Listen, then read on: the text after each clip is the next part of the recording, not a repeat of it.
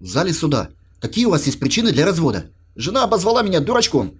При каких обстоятельствах? Прихожу я домой, а жена в постели с любовником и говорит, учись, дурачок, как надо жену любить. Молодожены договариваются. Если я из ванны выхожу и чепчик налево, то мне сегодня нельзя, а если направо, то не хочу. Хорошо. А если я из ванны выхожу в трусах, то сегодня не хочу. А если без, то мне все равно, как у тебя чепчик надет. На пляже идет мужик с колодой карт. Увидел двух девушек и решил к ним подойти. Девушки, в преферанс или очко? А в преферанс это куда?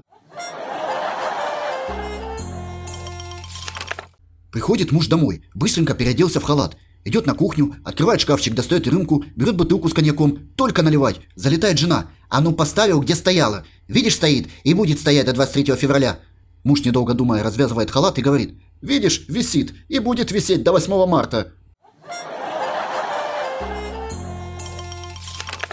Купе поезда едут студенты, страшная-страшная девушка. Поезд подъезжает к туннелю. Девушка укоризненно. «Если вы меня поцелуете, я буду кричать». «Я тоже».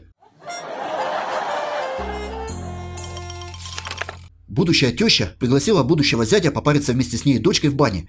Теща спрашивает, «Слушай, Коля, ты с моей дочкой уже полгода встречаешься, а решительных шагов не предпринимаешь. Может, в штанах у тебя ничего нет? Покажи». Тот скидывает полотенце, показывает. Будущая теща замирает. «Доча, или ты его берешь, или я. Такая ценность должна остаться в семье».